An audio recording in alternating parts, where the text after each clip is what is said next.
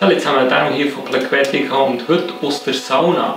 Und zwar muss ich mir schon mal die heiße Temperatur auf dem Flugplatz Interlaken angewöhnen.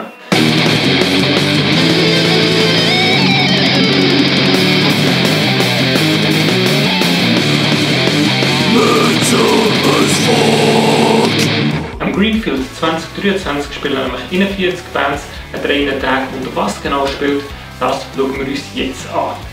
Und die, die es schaffen, bis zum Schluss das Video zu schauen, die können etwas gewinnen. Wir verlosen nämlich ein paar Tickets für genau das Festival.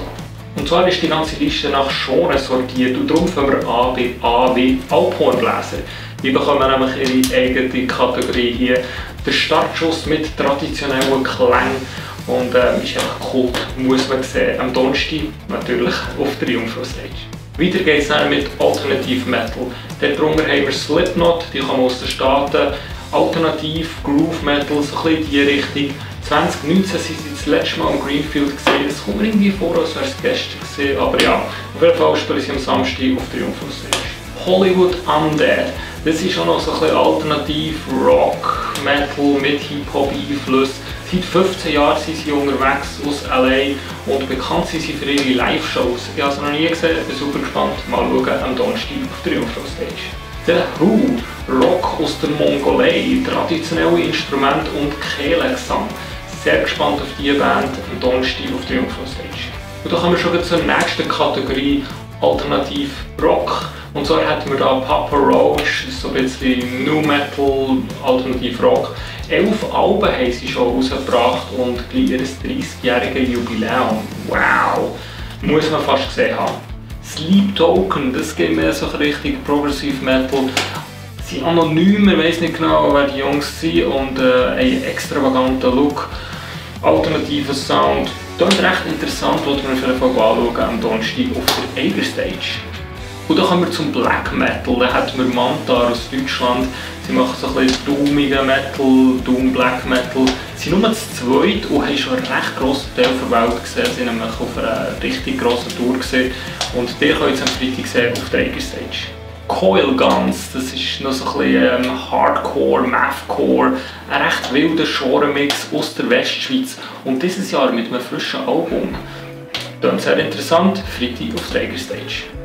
Weiter geht es dann mit Death Metal und da hatten wir Amon Amarth, so ein bisschen Viking Metal. 1992 hat es sich gegründet und erzählt vor allem Geschichten aus dem hohen Norden am Samstag auf der Jungfrau Stage.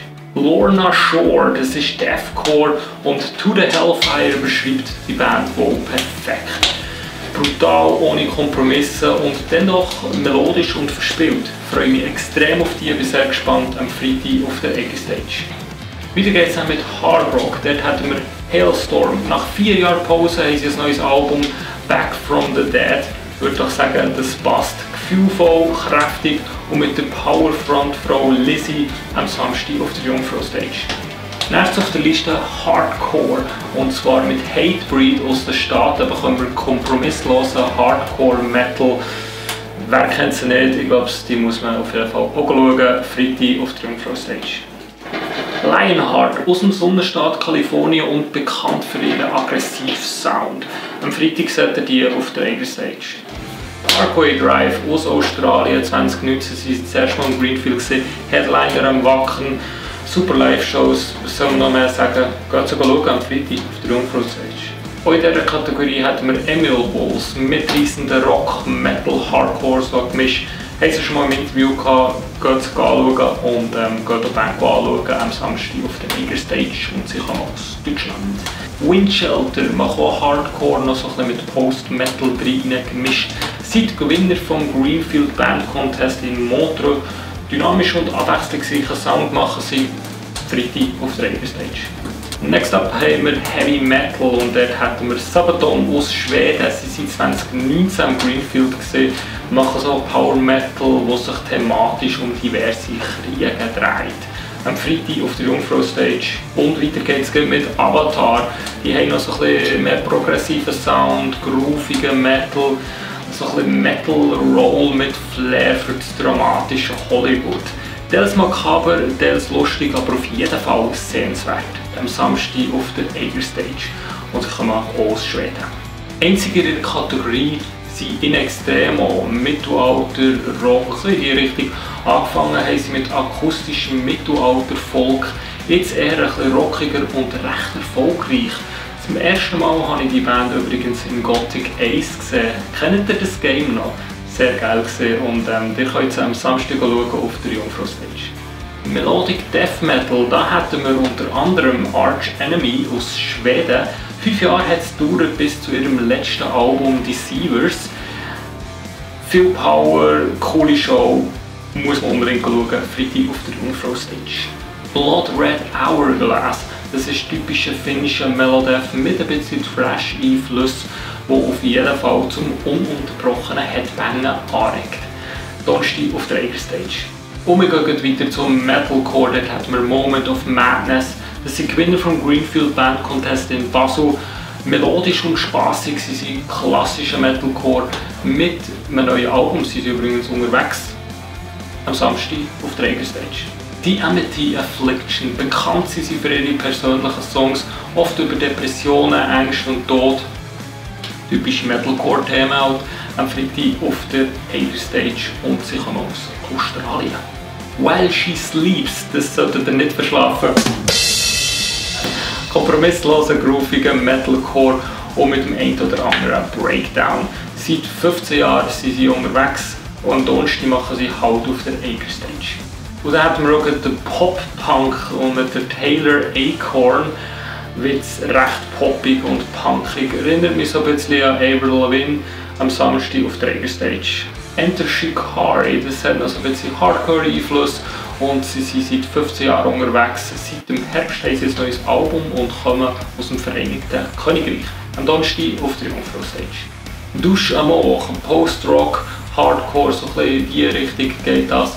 Tönt sehr französisch, ist aber aus den Staaten und ihr seht sie am Freitag auf der Eiger Stage. Funeral for a Friend, das hat so einen Post-Rock, Hardcore-Einfluss. Aus Wales kommen sie und 2016 haben sie vorübergehend die Band auf Eis gelegt und jetzt nach einer langen, längeren Pause kommen sie zurück auf Jungfrau Stage am Freitag. Und kommen wir zum grössten Bits von diesem Line-Up und zwar mit Punk. Dort hatten wir Anti-Flag, 13 Alben haben sie bis jetzt veröffentlicht in ihrer knapp 30-jährigen Geschichte. Not Too Bad am Samstag auf der Jungfrau Stage. Die Ärzte, ja, die muss man kaum vorstellen. Seit 40 Jahren sind sie unterwegs. 2020 haben sie das Album Hell rausgebracht und 2021 das Album Dunkel. Mal schauen, ob wir die helle oder die dunkle Seite bekommen am Donnerstag auf der Jungfrau Stage. Do Nots. Gestartet haben sie mit englischen Songs, aber seit knapp 10 Jahren sind sie jetzt in Deutsch unterwegs. Sie sind aber hure schwierig zu verstehen, aber ähm, ja, wir probieren es mal am Donnerstag auf der Jungfrau Stage. North Knock. Ich habe mich immer gefragt, was ist das für ein Name? Es steht nämlich für No Fight, No Glory. Jetzt macht es wieder Sinn. Und zwar ist das geradliniger, melodiöser und politischer Hardcore-Punk so in die Richtung am Samstag auf der Jungfrau Stage. The Mensingers bieten catchy und authentische Songs mit Geschichten und guten Lyrics am Donnerstag auf der Eiger Stage.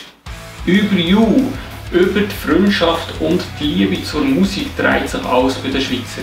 Leichter und gemütlicher Punk am Freitag auf der Jungfrau Stage. Zebra Head, spaßiger Punk und auch schon bei uns im Interview gesehen, geht sich anschauen. Irgendwann da. Am Freitag auf der Jungfrau Stage. Swiss und die anderen. Geht so ein bisschen Richtung Post-Metal, politischer Punk, dreckig persönlich und gerade raus am Donnerstag auf der Stage. Destroy Boys, Punk Rock, 1,5 Millionen monatliche Zuhörer auf Spotify, not too bad. Geschichten über Szenenmober, elitäre Klicken, Verrat und unerwiderte Liebe, dreckig und mit kein Blatt vor Mund. Am Samstag auf der Eiger Stage. Less Than Shake, Ska aus Florida und mit Saxophon und Trompete bewaffnet. Sehr cooler Sound, neun Alben haben sie bisher auf dem Buckel. Spassig, geht zu schauen am Donnerstag auf der Jungfrau Stage. The Distillers, das ist Skatepunk, 1998 haben sie sich gegründet, dreckiger und kraftvoller Punk. 2006 haben sie sich getrennt und nach zwölf Jahren wieder zusammengefunden. Am Freitag seht ihr sie auf der Jungfrau Stage. Vom Punk kommen wir in Rock und zwar mit Wolf Mother. Das ist grooviger Rock mit einer markanten Stimme aus Australien am Samstag auf der Jungfrau Stage. Und zum Schluss hätten wir eine Band, die eine eigene Kategorie haben kann, aber ich bin einfach zu lazy dafür. Darum der Boss auch in Rock-Kategorie. Wir haben noch so ein bisschen Country-Einfluss, relativ viel sogar moderner geworden sind. Und, ähm, aber immer noch recht country-mässig. Sie sind recht cool, würde aber auch zwei Wochen später recht gut passen am Country Festival. Wie immer spielen am Samstag auf der Jungfrau Stage aus Deutschland und das wäre es mit dem Line-Up vom Greenfield 2023. Und damit kommen wir zum versprochenen Gewinnspiel. Und zwar verlosen wir zweimal zwei Tickets für das Greenfield. Und wenn ihr die wollt gewinnen wollt, dann müsst ihr folgendes machen. Schreibt einen Kommentar in die Kommentarspalte hier unten mit den Bands, die ihr unbedingt schauen wollt und eine E-Mail mit eurem YouTube-Namen an verlosungen.plequetica.ch.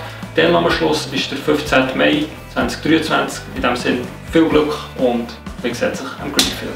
Und bevor ich es vergesse, liken, teilen, abonnieren, die kennen den ganzen Scheiß. Bis zum nächsten Mal.